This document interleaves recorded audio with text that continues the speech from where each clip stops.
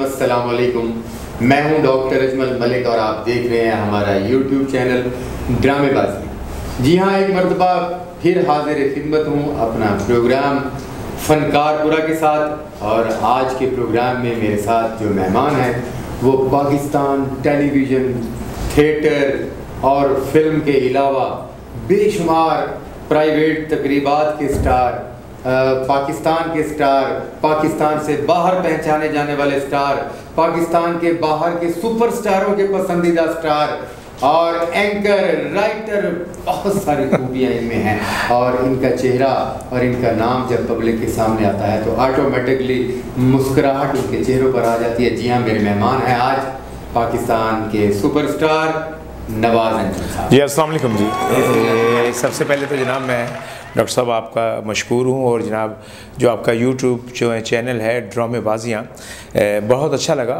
और ये आपने जो इतने कलमात से मुझे नवाज़ दिया इतने एजाज़ात मुझे दे दिए ये सब आप ही के बनाए हुए हैं आप ही के तराशे हुए हैं। आप तो वो हैं जनाब जो बुत तराशते हैं। और क्योंकि आपके कलम से लिखा हुआ जब हम जुमला बोलते हैं तो रब करीम उसमें करम डाल देता है। ये ये बड़ी मोहब्बतें हैं आपकी। का बड़ा तर्स है। आपके बारे में हमारे पाकिस्तान के लेजेंड कॉमेडियन अमानुल्लाह साहब ने कहा मैंने कहा जी नवाज़ अंजम साहब फलां टीवी दुनिया टीवी पर भी आ रहे हैं फलां टीवी पर भी आ रहे हैं फलां टीवी पर भी आ रहे हैं। उन्होंने कहा बेटा छड़ दे वो तो इतना मसरूफ है कि वो बंद टीवी भी आ रहे हैं। और इस बात को मैं बढ़ावा कर दूँ एक दिन ना अमानुल्ला साहब ने कहा कि नवाज़ तो इतना टीवी करता है किसी दुकान पर आप टीवी ठीक कराने जाओ ना हाँ। जो तो यदि फ़ोटो आ जाए ठीक हो गया ले जाओ। बात है क्या बात है? नवाज़ भाई हमारा प्रोग्राम है फनकारपुरा। अरे माशाल्लाह हाँ जी फनकारपुरा प्रोग्राम के आज आप मेहमान हैं। स्वीट हार्ट और यहाँ पर आए दिन कोई ना कोई रौला कोई ना कोई रफड़ पड़ा रहता है। मेहमान तो नहीं मैं आपका नौकर खादिम जनाबी मेरा अपना घर है मैं सिर्फ़ इसलिए आया हूँ। मेहमान होता तो फिर तो वो मुझे इसके लिए सामने मेरी चीज़ें भी कुछ पड़ी होती। नहीं आपके सामने चीज़ें जो है वो वक्फे में डाल रखी जाएँगी। अच्छा। हाँ और आप मेहमान हैं और आप हमारे मेहमान हैं जब तक जी चाहे आप मेहमान हैं? कितने दिन मेहमान हैं आप? आज हो गया हूँ। हमारे यहाँ ये कहा जाता है कि मेहमान तीन दिन चौथे दिन फिर बेईमान है। डॉक्टर साहब मज़े की बात यह कि आप हो गए मैं हो गए जो हम लोग माशाल्लाह जनूबी पंजाब से आए हुए तो रब करीम ने हम तो एक साइड का टिकट लेके आए हुए हैं। आप आप तो एक साइड के टिकट की बात करते हैं मुझे लगता है कि हम वीज़ा लेकर आए हैं। और यहाँ का पासपोर्ट अल्लाह ने हमें दे दिया और वापसी जो है ना हमारी मनसूख कर इस बात को कहते थे कहना तू सवेरे जाए तो रात को ड्रामा करके मुल्तान चला जाना मुल्तान तो फ़ौरन वापस आ जाना कहता ये जो बस च डिग पैंदा ना तो लोग चिट नाल वेखते अच्छा नहीं लाहौर लेना तेरे लाहौर ला ये मालिक का बड़ा एहसान जी। और मैं डॉक्टर साहब एक चीज़ आपके चैनल के हवाले से के अपने ऑडियंस को अपने चाहने वालों को एक रिक्वेस्ट ये भी करूँगा मैंने अल्हम्दुलिल्लाह ये कोई बड़ा बोल नहीं बोल रहा दुनिया के हर ख़त्े में काम किया पाकिस्तान के हर शहर में काम किया लेकिन जिसको मोहर लाहौर ने लगाई है ना तो दुनिया के हर खत्े में आपको कलैप होगी। वो कहीं ना वो कोई नाकाम नहीं है ये अकामा लगाते हैं। हाँ जी बिल्कुल ये ये, ये आपको ना मोर लगाते हैं वरना आ, अब जैसे मैं मुल्तान में था तो वो आप खाद फैक्ट्री क्रॉस करें तो भूल गए लोग। बावलपुर से आप लोधरा क्रॉस करें तो भूल गए लोग। ये लाहौर जो है तो ये, ये मैं कहता हूँ आपकी तो, बात को मैं थोड़ा सा बढ़ा जी जी जी बिस्मिल्लाह। ये भी शर्फ हासिल है हमारे औलिया के शहर मुल्तान को जी जी। यहाँ पर अकामा लगता है तो उन लोगों को के लिए अकामा लगता है जो पहले वहाँ मुल्तान से मोर लगा ये बात है। और जो और मैं आपकी बात को मैं भी बढ़ावा शायद ये बना सॉरी डॉक्टर साहब। बात ये कि सरकार दो आलम हज़रत मोहम्मद सल्लल्लाहु अलैहि वसल्लम सरकार का फरमान है कि कामयाबी के लिए हिजरत ज़रूरी है। हिजरत जिसने भी की हम लोग तो ना बस असल में जनूबी पंजाब के लोग ज़्यादा इसलिए भी नहीं इधर आए कि हम लोग ना वो दाल मूंग खा के बस ठीक है यार साड़ी ज़िंदगी बेहतरीन लगती पई है। आप ये देखें कि यहाँ से मुल्तान नासिर चिन्होटी साहब गए तारिक टेडी साहब गए तो वो हिट वहाँ जाके हुए। हाँ, वो वहाँ जाके हिट हुए। ये सारे वहाँ हिट हुए। तो हम लोग वहाँ से जब इधर आए तो अल्लाह ताला ने यहाँ मेज़तों से नवाजा। और मुझे ये मैं जब शिफ्ट हुआ ना पहले तो मुझे इस लाला आशिक राही मुल्तान का एक अवामी फ़नकार अल्लाह ताला उन्हें जन्नतफरदौस में अला मकाम था फरमाया मुझे जब मैं लाहौर शिफ्ट होने लगा ना मुझे कहने लगा वो पुत्र उत्था क्या करे से? उत्था एक समंदर है। वो तू उत्था अच्छा एक्टर थे तू है, अपनी जात बना गिन से बल पुत्र, इवें जरा तवज्जो नाल कम करने। मैं कहा, भाईजान, बस वेंदे पे हैं, सत्ते खैरन वाले इंशाल्लाह तो ये बात है कि बड़ों ने दुआएँ दी और उनके कहने पर अमल किया तो यहाँ आना जब काम किया और काम दिखाया तो लोगों ने कहा कि नहीं यार, वाकई ये लोग तो स्क्रिप्टेड काम करने वाले लोग हैं। तो हमने हकीकत में जैसे बहावलपुर में, मुल्तान में, वाहिद ये जनूबी पंजाब के ये दो शहर थे कि जहाँ लिखा हुआ काम होता था। गो कि अब क्योंकि ड्रामे की थ्योरी कुछ और हो गई है, वरना मैं मुझे लोग है ना मिसालें असलम शाह साहब वो मिसाल देते थे इनको देखो नब्बे नब्बे सफ़े यूँ याद कर लेता है ये। ये फलाना सफ़े यूँ याद कर लेता है। पहले ना पूरी कहा एस कमर जैदी साहब के ड्रामे वो पूरा ना कहानी दे देते थे कि लो भाई इसको याद कर लो। किसी दिन हो सकता है कोई फनकार ना आए तो आपको ये भी ज्वाइन करके करना पड़ना है। पढ़ना अब तो ना हमें पता भी ये भी नहीं हम कभी देखते विंग में कि ड्रामे की चाल क्या चल रही है कि ड्रामे का टेंपो क्या जा रहा है? एक्टर जो सेट पर इंटर हो रहा है, उसको ये नहीं पता कि सेट पर जो खातून खड़ी है, वो मेरी माँ है, बहन है। बेटी है बीवी है।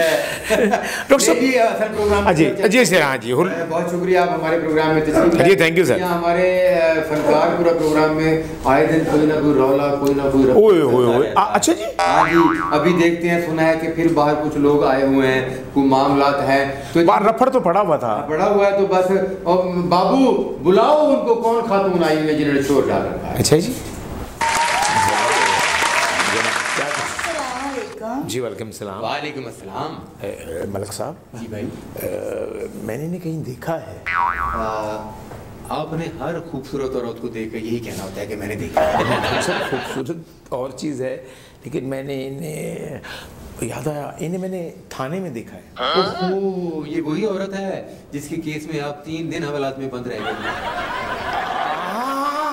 वो असल में ये मेरी किराएदार थी और ये किराया नहीं देती थी तो मैंने निकाल दिया था इन्हें असल बात बताएं ये आपकी किराएदार थी और तीन तीन दिन आप इनके घर से बाहर ही नहीं निकलते थे और जनाब भी ये कहती थी कि अभी घंटे तक मिल जाएगा तो मैंने कहा यहाँ बैठा हूँ तो मैं किराया लेके ही बाहर जाऊंगा ओहो छोड़े पहले जरा उनसे तो पूछ अच्छा जी लेते। ਅੱਛਾ ਚੁੱਪ ਕਰੋ ਜੀ ਪੁਰਾਣੀਆਂ ਗੱਲਾਂ ਨਾ ਖੋਲੋ ਮੈਂ ਪੁਰਾਣੀਆਂ ਗੱਲਾਂ ਸਾਰੀਆਂ ਭੁੱਲ ਗਈਆਂ ਤੁਸੀਂ ਵੀ ਨਾ ਕਰੋ ਮੈਂ ਮਲਕ ਸਾਹਿਬ ਕੋਲੋਂ ਆਪਣਾ ਮਸਲਾ ਲੈ ਕੇ ਆਈਆਂ ਤੁਸੀਂ ਆਪਣੀਆਂ ਗੱਲਾਂ ਕਰਨ ਲੱਗ ਪਏ ਹੋ उनका मसला सुन लेने दे। आप तो जहाँ भी खातून देखते हैं वहाँ पर लट्टू हो जाते हैं वो आपसे ही बैठकर बात करें। नहीं देखो मेरे मेरे ला मेरे प्लीज़ देखे लिसनर जो देख रहे हैं जो चाहने वाले देख रहे हैं बॉस मैं अकेला आया था और मेरे साथ ये आके बैठी है। मैं नहीं इसके पास जाके बैठा। वो अगर आपके पास बैठ ही गई हैं तो मेहरबानी करें सब्र करें उनकी बात सुन लेने दें। जी। वाकफियत ना बढ़ाएँ पुराने ताल्लुक ना निकालें और वो भी जो अच्छे नहीं रहे। जी खातून आप हमारे प्रोग्राम में किस लिए तशरीफ़ ले आई मैं तशरीफ़ ले आई हैं इस वास्ते। ਵਾਸਤੇ ਤੁਹਾਨੂੰ ਆਪਣਾ ਸ- ਮਸਲਾ ਬਿਆਨ ਕਰਨ ਆਈ ਹਾਂ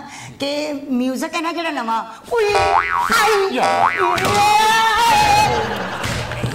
ਇਹ ਮੇਰੇ ਕੋਲ ਸਿੱਖਿਆ ਨਹੀਂ ਜਾਂਦਾ एक मिनट एक मिनट एक मिनट वो ये आपने किया क्या है मैं इसने मेरे घर का जो अंदर वाले कमरे का लेंटर है ना इस हरकतों से गिरा ओ माय गॉड ये अब- ये आपने ये जो हुई आई हुई इसकी मुझे समझ नहीं प- पुराना म्यू- नव- नया म्यूजिक क्या कह रही हैं आप ਅਹ ਮਲਕ ਸਾਹਿਬ ਇਹ ਜਿਹੜਾ 뮤직 ਨਾ ਉਈ ਆਈ ਆ ਇਹ ਮੇਰੇ ਕੋਲੋਂ ਨਹੀਂ ਸਿੱਖਿਆ ਜਾਂਦਾ ਮੈਂ ਬੜੀ ਕੋਸ਼ਿਸ਼ ਕੀਤੀ ਹੈ ਬਹੁਤ ਸਿੱਖਣ ਦੀ ਕੋਸ਼ਿਸ਼ ਕੀਤੀ ਮੇਰੇ ਕੜਲ ਪੈ ਗਏ ਨੇ ਪਰ ਮੈਨੂੰ ਨਹੀਂ ਸਿੱਖਿਆ ਗਿਆ ਮੈਂ ਚਾਹੁੰਦੀ ਹਾਂ ਕੋਈ ਐਸਾ ਗੁਲੂਗਾਰ ਹੋਵੇ ਜਿਹੜੇ ਮੈਨੂੰ ਪੁਰਾਣੇ ਗਾਣੇ ਸਿਖਾਵੇ ਔਰ ਮੈਂ ਸਿੱਖ हो हो मैं समझ गया। क्या कह रहे हैं? कह रहा हूँ कि आप पुराने गाने ना सीखें इनको किसी दर्जी की दुकान पे डालें वहाँ कपड़े सी से सीखना वो काम चुप करो जी। मैं को बेवा जड़ी मैं पुराने कच्चे सीवा बह के।